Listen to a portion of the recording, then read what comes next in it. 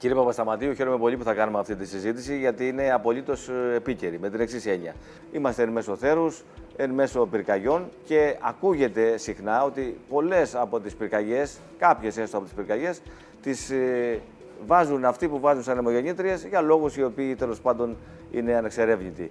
Πώς απαντάτε σε αυτό που το έχετε χαρακτηρίσει ένα fake news; Καταρχάς, είναι fake news, δεν το έχουμε χαρακτηρίσει απλώς fake news και δεν το έχουμε χαρακτηρίσει fake news μόνο εμείς.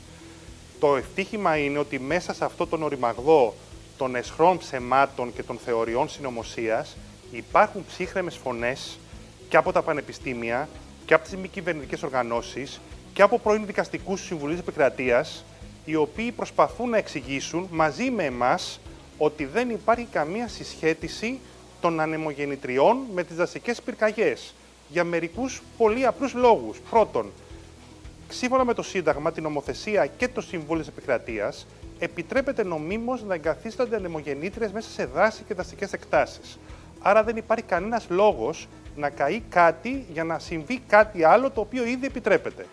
Αντιθέτως, αν καεί μια δασική έκταση, τότε η εγκατάσταση των ανεμογεννητριών γίνεται πιο δύσκολη και από άποψη αδειοδοτική και από άποψη, από άποψη κατασκευαστική. Επομένως δεν υπάρχει κάποιο όφελος, κάποιο κίνητρο οικονομικό ή άλλο για να γίνει αυτό το έγκλημα και αυτή η καταστροφή.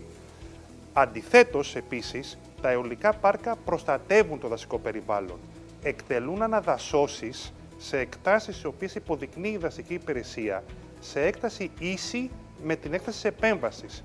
Εκτελούν έργα αποκατάστασης και βεβαίως εγκαθίστανται σε χώρους οι οποίοι μπορούν να παρέχουν υποδομές εποπτείας, τηλεεποπτείας, και επιχειρησιακής διευκόλυνσης των πυροσβεστικών δυνάμεων προκειμένου να ελέγχουν το δασικό περιβάλλον στην ευρύτερη περιοχή.